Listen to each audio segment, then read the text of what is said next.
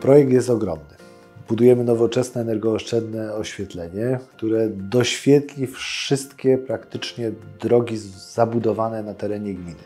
W wielu miejscach połączy miejscowości szlakiem oświetlonym. To są 74 km dróg na terenie gminy i to są prawie 2000 opraw. Lampy były co 100 metrów, a teraz będą lampy co 35. Także efekt rzeczowy jest wprost widoczny dla każdego mieszkańca.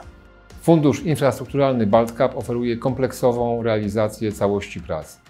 Są to prace projektowe, jest to zapewnienie finansowania, oczywiście całość wykonawstwa inwestycji, ale co istotne, również przejęcie odpowiedzialności za uzgodnione parametry jakościowe przez cały czas trwania okresu utrzymania.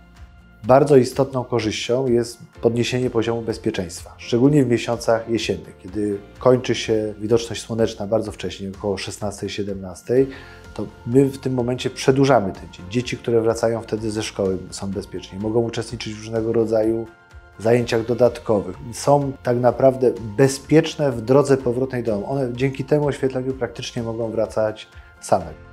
Zainstalowany system sterowania będzie umożliwiał kontrolowanie natężenia indywidualnie na każdej oprawie.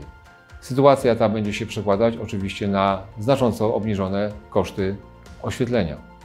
Praktycznie mając trzy razy więcej opraw, będziemy płacili jedną trzecią kosztów do tej pory przez nas ponoszonych. Czyli to jest rzecz trudna nawet dla mnie do wyobrażenia, bo mieliśmy 600 lamp, płacimy 300 tysięcy za oświetlenie. Mamy 2000 lamp, będziemy płacić 100 tysięcy. To jest naprawdę ogromna, ogromna oszczędność.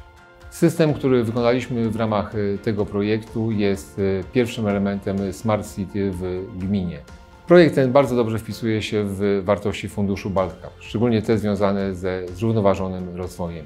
Zastosowaliśmy tutaj najnowocześniejsze rozwiązania techniczne charakteryzujące się wysoką efektywnością energetyczną, co przekłada się na niższą emisję CO2 do środowiska. Partnerstwo publiczno-prywatne przynosi gminie bardzo dużą korzyść w postaci technologii, know-how, wiedzy, doświadczenia partnera prywatnego. To nie jest sztywna dokumentacja, w której niestety w wielu przypadkach zdarza się wiele błędów, ale coś, co jest wypracowywane wspólnie, czyli dostosowuje ono zakres projektu do potrzeb i do możliwości gminy z zastosowaniem jak najlepszej, jak najnowszej technologii.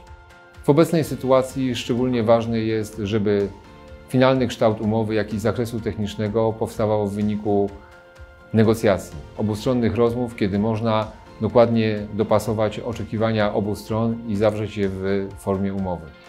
Projekt realizowany w partnerstwie publiczno-prywatnym wymaga dużej dozy wzajemnego zaufania. My musimy ufać partnerowi, partner musi ufać nam, musimy budować wzajemną relację opartą na bardzo dużym wzajemnym szacunku i zaufaniu. To jest rzecz, która, która też nie występuje często w tradycyjnej metodzie realizacji inwestycji.